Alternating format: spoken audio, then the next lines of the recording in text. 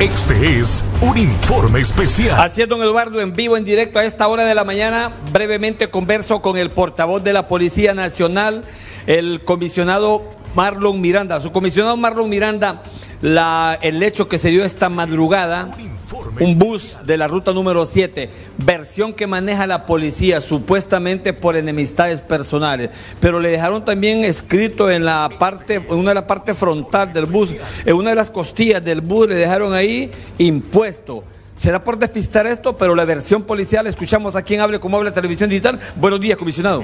Buenos días, eh, tal y como usted lo menciona, según las primeras diligencias investigativas, ¿verdad? Tanto de la Dirección Policial de Investigaciones como los equipos especiales de inteligencia, eh, esto obedece a problemas personales que tiene su propietario.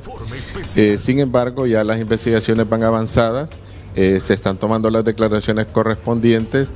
Eh, también se está a espera del dictamen de los bomberos para poder saber eh, qué fue lo que pasó en este incendio. Y también eh, ya se ha hecho una inspección en el mismo y de esa manera se puede ya tener la identidad de las personas que cometieron este, este delito. Entonces el hecho de haberle dejado ahí un, como con letras o con spray impuesto para despistar a la policía, porque ellos dijeron ellos también, algunos motoristas de la misma ruta 7, que ellos están al día con el impuesto. Bueno, esta es parte eh, de la investigación. Recordemos que eh, este tipo de situaciones eh, también es parte de la investigación, pero lo más importante de esto es la versión de las personas que estuvieron en el lugar y ya la declaración que se tiene de su propietario. De esa manera, lo que obedece esto es tener ya la identidad de las personas que cometieron este este delito. Eh, lo que usted menciona es parte de la investigación, sin embargo, la investigación va orientada a que esto obedece a problemas personales que tiene su propietario.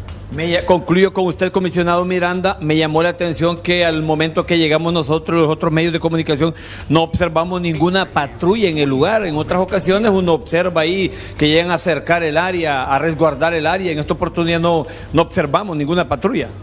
Bueno, esto eh, recuerde que eh, sucedió en horas de la madrugada, ¿verdad? La Policía Nacional estuvo presente ahí, eh, después llegaron los bomberos y al momento de que el autobús fue ya, se apagaron las llamas, iniciaron los investigadores a hacer la inspección correspondiente. Después de eso ya se abandonó el lugar, sin embargo quedaron sus propietarios eh, bajo el cuidado de este autobús.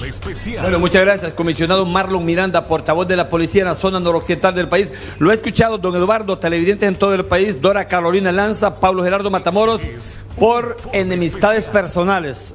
Es la versión que maneja la policía y con esa versión nos vamos los medios de comunicación. Según la policía, ¿verdad? Por enemistades personales, le incendiaron el bus a este, eh, eh, a el propietario del mismo en la colonia de El Periodista. Con el niño en cámaras, presencia informativa y noticiosa en los estudios a esta hora. Bien, muchas